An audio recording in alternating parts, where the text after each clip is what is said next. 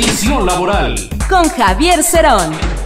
El sector obrero nuevamente mostró su preocupación porque en diferentes estados del país se han registrado alzas que la Procuraduría Federal del Consumidor no se han detectado y por lo tanto se requiere una mayor vigilancia. Al respecto, el Congreso del Trabajo señaló que no es posible que por el pretexto del gasolinazo se trate de abusar de los consumidores, sobre todo cuando el poder adquisitivo está deteriorado y los productos de consumo básico y popular pues están yendo por las nubes. Hizo un llamado a la Profeco para que realmente actúe con firmeza y energía porque no es posible que con unas pequeñas multas los comerciantes abusen de incrementar los precios de los productos básicos. Este es un problema silencioso que se ha venido dando, pero también hizo un llamado para que revise no solo las tienditas o los pequeños comercios, sino los grandes supermercados donde silenciosamente se han ido incrementando de 20, 50, un peso hasta dos pesos diferentes productos, de tal manera que el consumidor en apariencia no se dé cuenta y ahí no llega la Profeco solo por el hecho de que son